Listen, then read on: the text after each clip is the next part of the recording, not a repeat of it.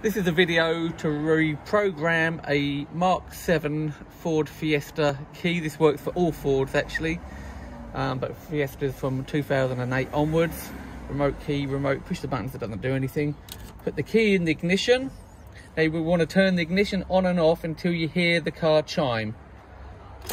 One, two. You heard the chime. Remove the key, push the unlock button and it should chime again key back in the ignition, turn it on and off. There you go. Remote is now working. Follow this for each key that you want to reprogram.